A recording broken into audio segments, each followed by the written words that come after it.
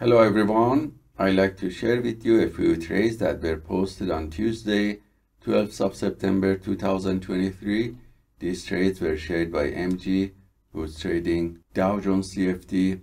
As you see, the macro chart is in downtrend with good momentum, and you can see the downtrend channel in the structural chart here.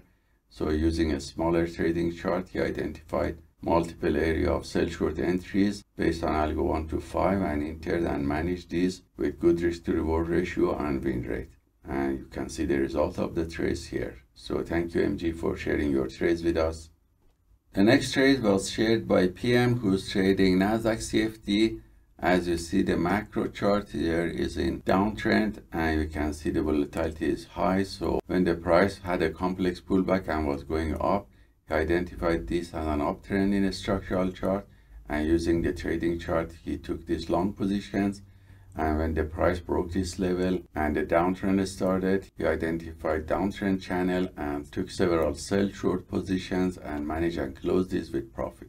So thank you pm for sharing your trades with us the next trade was shared by Castro or Global Instructor who's trading Dow Jones CFD. As you see in this trading chart, the price reached an area of the static support and this was confirmed by the higher time frame and the buyers came back so this is a good area for the setup B entry with very good risk to reward ratio and entered the long position here and managed that and close it with good runner and profit. So thank you Castro for sharing your trades with us. The next few trades were shared by Jan or Global Instructor who's trading Nasdaq CFD. As you see the 4 hour macro chart was in uptrend but the price broke down and you can see that on the 30 minute macro that broke so this downtrend channel on the 5 minute structural chart was identified and this strong downtrend was taken using 1 minute trading chart repeatedly with the setup B first and then setup T using algo 1 to 5. So thank you Jan for sharing your trades with us.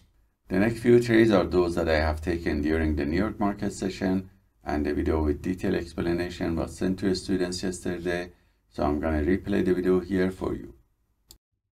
Hello everyone, I'd like to share with you the trades that I have taken today on Tuesday 12th of September 2023. These trades were taken on Nasdaq and Dow Jones and S&P 500 futures. If you look at the one hour macro chart, we can see that the price was fluctuating around the previous day close and during the London session it started to go down and that accelerated. And during the New York market session initially the price went up.